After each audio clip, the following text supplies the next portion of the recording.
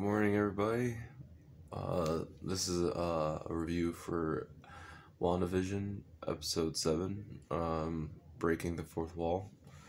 Uh, uh, spoilers. Um, this is a pretty good episode. Uh, I liked how, uh, I liked the ending where we finally get to see Agatha's true intent and, um, we're starting to really get to the nitty gritty of a story now, and I like how Monica Rambeau showed her powers too, and um, looks like she's she's like showing. She looks like she could go toe to toe with uh, um, Scarlet Witch, and um, I I really wonder if they're gonna have like a throwdown maybe next episode or something.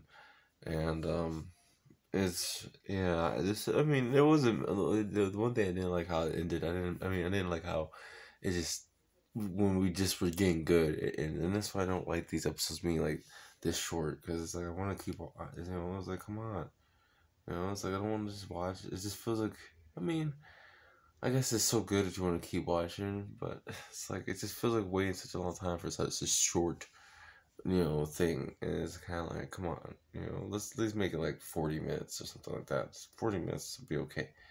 You know, uh, is it four minutes? Well, let me see the time.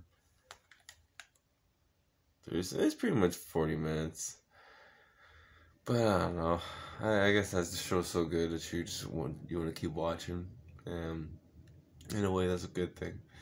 You know, um, yeah, I really enjoyed this. Uh, I think it's really a good show. I'm really loving it.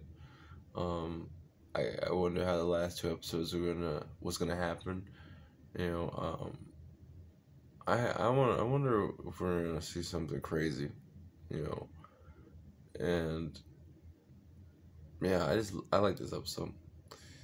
Uh, ten out of ten for me.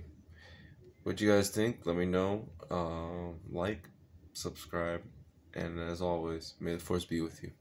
Peace.